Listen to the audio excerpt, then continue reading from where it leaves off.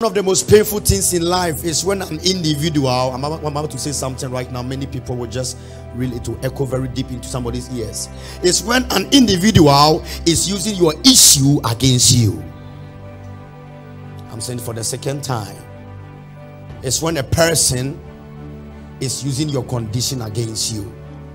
Sometimes your issue can be used against you that people will even forget about your name a guy in the Bible and they called a guy blind Bartimaeus. His name is called Bartimaeus, but they have now qualified his name. He's called because of his issue. There's a woman in the Bible, we don't know her name, but we call her because of her issue. The woman with the issue of blood. What will you do when they call you by your condition, not by your name? And God, how long would they call me by my condition? Hmm. But God, you told me that when I call unto you, you can take away my condition. But some way, somehow, they are still calling me by my condition for how long?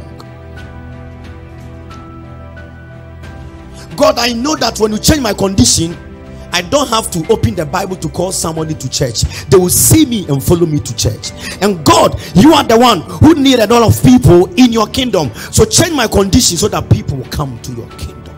Jesus. Today I came to just tell you one thing that the how long is coming to an end. Amen.